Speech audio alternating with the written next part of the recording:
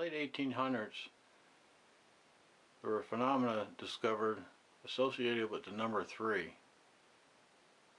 And this was seen in many fields of science, which suggests that nature works in threes.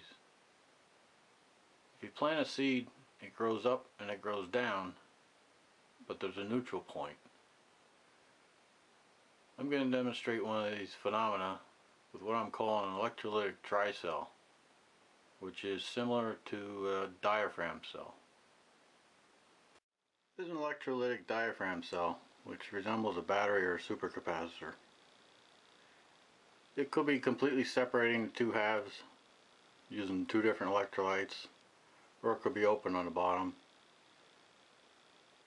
And this center section could be porous or non-porous, could be a dielectric, carbon, or metal.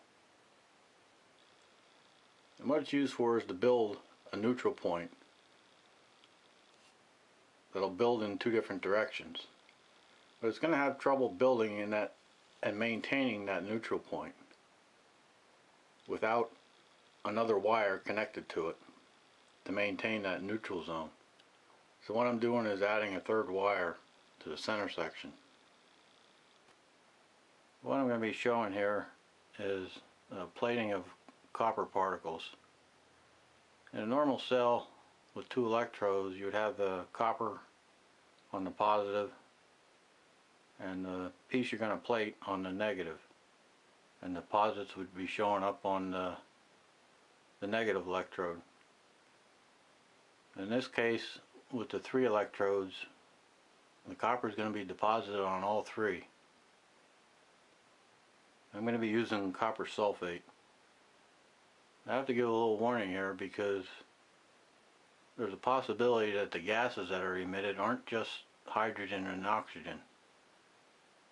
I suspect that there's hydrogen sulfide gas emitted from this.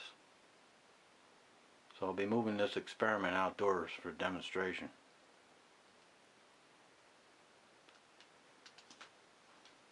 This is a diagram of the cell that I have.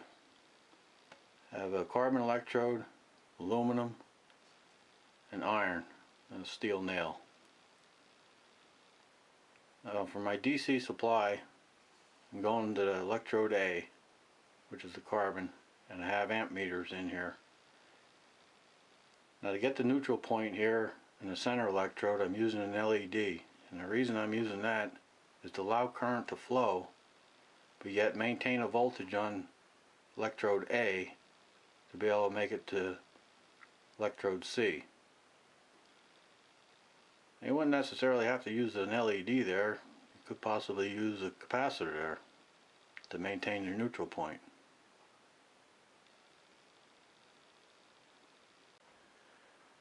This is an aluminum center electrode. You can see I got copper deposits on the one side here. I scraped most of them off. The other side, there wasn't any copper deposits until the gas bubbles eroded the bottom away and then it started creeping across to this side with some copper. But you can see there's a thickness there where the action was only taking place on on one side.